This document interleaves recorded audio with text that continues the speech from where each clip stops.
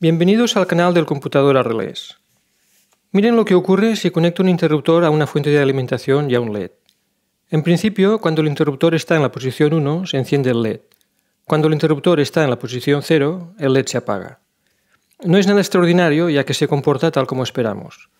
Al fin y al cabo, los interruptores son componentes que se utilizan para interrumpir o permitir el paso de corriente eléctrica a través de un circuito.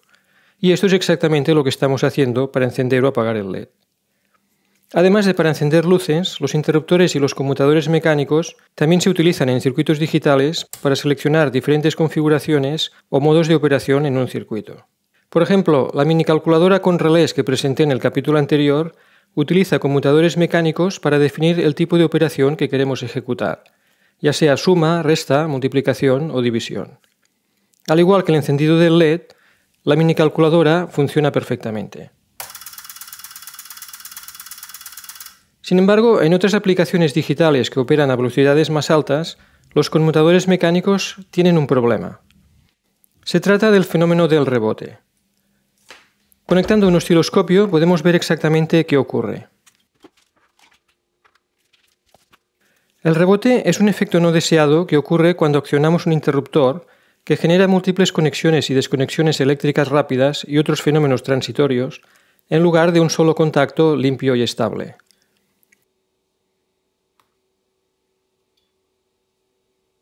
Los rebotes se producen debido a la naturaleza mecánica de los interruptores y sus contactos metálicos.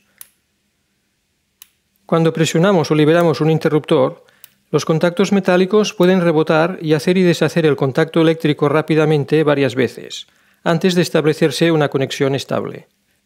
Estos rebotes pueden ocurrir a una velocidad muy rápida, del orden de milisegundos o incluso microsegundos, y en general pasan completamente desapercibidos por el ojo humano. El problema de los rebotes puede ser grave, ya que pueden ocasionar errores o comportamientos indeseables en circuitos donde se utilizan los conmutadores.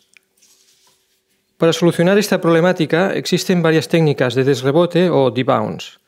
Estas técnicas implican el uso de circuitos adicionales para filtrar o ignorar los rebotes transitorios y así obtener una señal de conmutación limpia y estable.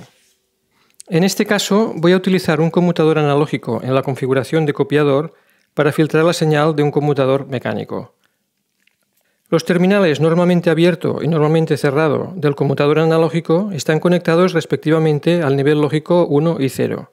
El terminal común del conmutador analógico será la salida filtrada, que a su vez está conectada al terminal de selección a través de una resistencia, formando efectivamente una realimentación positiva. El conmutador mecánico cuyos rebotes quiero filtrar lo conecto también al terminal de selección del conmutador analógico. Cuando accionamos el conmutador mecánico y cambiamos completamente su estado, el nuevo estado se reflejará en el terminal de selección del conmutador analógico y por tanto se copiará rápidamente en la salida. A partir de este momento, cualquier rebote o desconexión transitoria que se produzca en el conmutador mecánico quedará reemplazada por la señal que viene a través de la resistencia, y la salida de todo el circuito se mantendrá estable en el estado lógico deseado. El resultado es una señal completamente estable de respuesta rápida y sin ruidos, tal como podemos verificar con el osciloscopio.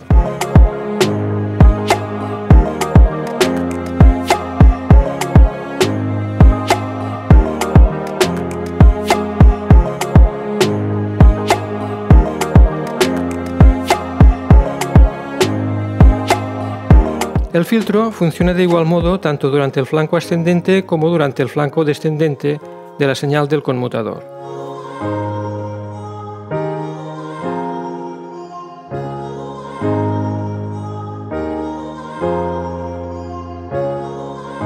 Con esto nos aseguramos una señal limpia y confiable que puede ser utilizada por otros componentes o partes de un sistema complejo sin los problemas asociados a los rebotes de los conmutadores mecánicos.